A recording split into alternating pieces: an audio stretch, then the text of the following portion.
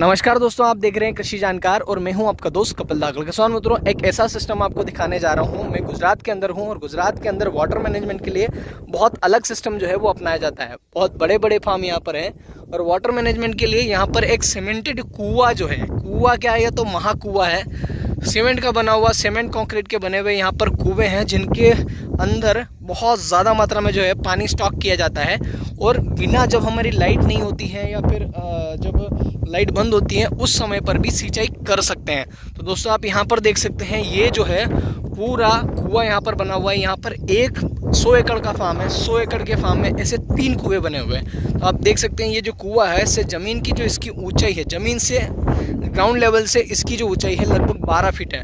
और दोस्तों, एक स्ट्रक्चर आप सामने देख पा रहे होंगे, वो आप देखिए, एक स्ट्रक्चर वहाँ पर है।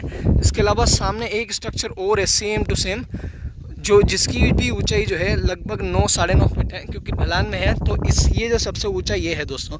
और इनके अंदर भी एक कनेक्टेड सिस्टम है। अगर किसी भी कुएँ के अंदर पानी अगर कम होता है तो ये ऑटोमेटिकली इंटरकनेक्टेड है। यहाँ कर अगर पानी नहीं भर पा रहे तो अगर उस कुएँ के अंदर हम पानी डालेंगे तो उस सेम लेवल पे यहाँ पर भी पानी जो है वो ऑटोमेटिकली यहाँ पर भी दिखेगा। मतलब यहाँ पर भी आएगा। मतलब एक लेवल पे पानी जो है वो सेम बना यहाँ पर रह सकता है। और यहाँ पर दोस्तों एक चीज़ इसके अंदर शेवाल ना जमे मतलब जो हम कंजी कहते हैं वो यहाँ पर ना आए तो उसके लिए भी चीज़ें यहाँ पर मैनेज करने के लिए रखी गई हैं। यहाँ पर इसके अंदर मछली डाली गई है जो इसके अंदर आ, समय समय से जो कंजी बनती है कंजी जो खाने के लिए यहाँ पर मछली डाली गई है मछली पालन के लिए नहीं डाली गई है।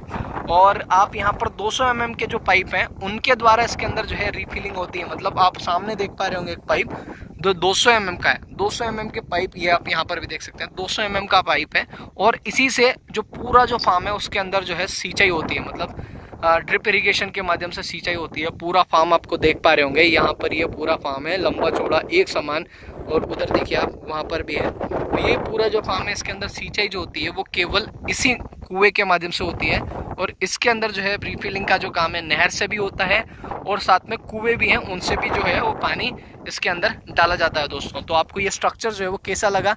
यहाँ पर भी आपको मैं और भी चीज़ें दिखा देता हूँ। वो यहाँ से जो पानी है फ़िल्टर के माध्यम से जाता है, जैसा कि आप वीडियो में देख पा रहे हैं।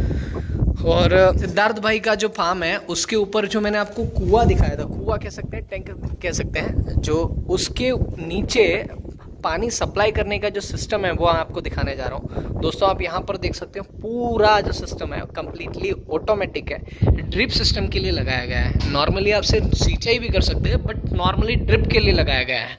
आप यहाँ पर देख सकते हैं, उधर जो हमने टैंक देखा, वहाँ से ये इसका आउटलेट पाइप है। यहाँ से आउटलेट निकलता है पानी, और आउटलेट आता है यहाँ पर, ये यहाँ पर।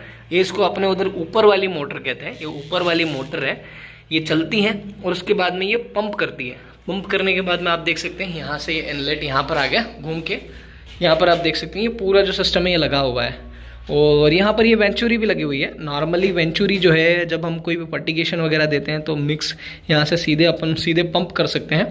तो यहाँ ये वेंचुरी लगी हुई है। ये दोनों वॉल चालू करते ही वेंचुरी इसके अंदर पंप कर देगी। और दोस्तों, कदर बहुत ये कह सकते हैं, बहुत इफ़ेक्टिव सिस्टम है। यहाँ पर ये लगा हुआ है एक फ़िल्टर ये स्क्रीन फ़िल्टर है। स्क्रीन फ़िल्टर है मतलब यहाँ पर पानी को छाना जाता है, क्योंकि उससे ड्रिप हमारी जो है वो ब्लॉक ना हो। तो और पाइपलाइन ब्लॉक ना हो, क्योंकि पानी जो आ रहा है वो टैंक से आ रहा है तो ये स्क्रीन फ़िल्टर है। और साथ में दोस्तों, यहाँ पर ये देख सकते हैं, उधर से स्क्रीन फ़िल्टर होने के बाद में पानी यहाँ से आएगा। यहाँ से होते हुए यहाँ पर तीन लाइन डली हुई है। एक, दो और तीन। ये तीनों जो लाइनें हैं, हर एक लाइन 25 बीघा को इरिगेशन करने के लिए यूज़ होती है। और 25 बीघा ये कह सकते हैं कि लगभग अपने यहाँ के हिसाब से ढाई बीघे का, ढाई बीघे का एक एकड़ होता है। दोस्तों, आप यहाँ पर देख सकते हैं, ये इतना ऑटोमेटिक सिस्टम जो है पूरा आपने सिद्धार्थ भाई ने लगा रखा है। अब सोचिए, बहुत बड़े किसान हैं और बहुत अच्छे तरीके से जो अपनी खेती जो है मैनेज करते हैं। तो ये सिस्टम पानी का जो सिस्टम है, मुझे बहुत बढ़िया पसंद आया है। पूरा कंप्लीट स्ट्रक्चर यहाँ पर बनाया गया है।